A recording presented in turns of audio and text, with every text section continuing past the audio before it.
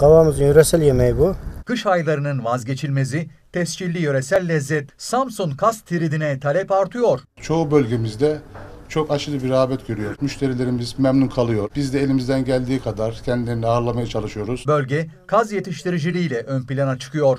Soğuk havanın etkisiyle kazlar yağlanıyor. Genellikle tridi büyüklerimiz daha önceden kar yağdığında evlerinde muhabbet, samimiyet ve dostluğun bir araya gelip de pekişleşmesi amacıyla yemek ortamında düzenlemiş olduğu bir programdı. Asıl amaç burada kazların soğuk havada yenmesi. Tercih edilmesinin sebeplerinden bir tanesi kaz yağlı bir et olduğu için, besleyici bir et olduğu için kışın tercih ediliyor. Tirit yapımında kazlar yolunuyor, temizleniyor ve suda pişiriliyor.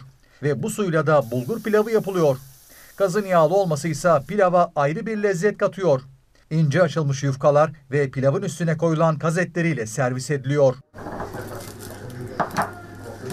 Tirit mevsiminin gelmesiyle siparişlere yetişmekte zorlanıyorlar. 8-9 ay elimizde trit mevcut. Yıllık kaz satışımız, ikramımız, müşterilerimizin tüketimi 2000, 2500, 3000 arası değişiyor.